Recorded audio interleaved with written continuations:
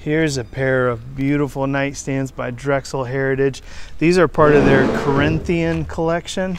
Um, and they're part oak and part ash. So the burled tops, that's all ash, and um, the sides and a lot of the uh, outside construction is going to be uh, oak. All the drawers are dovetailed and work properly. Look how clean it is inside. You know, a lot of furniture isn't, but they took good care of this stuff. Um, then you got a shelf in the interior cabinet and a shelf over here too. Both of them are in um, pretty good shape. That's where you really see anything on the tops. There's just that little green dealio down there, probably a magazine or something hanging down there. Um, but we do have the bedroom set for this. So we have the nightstands. Um, there's the king size bed.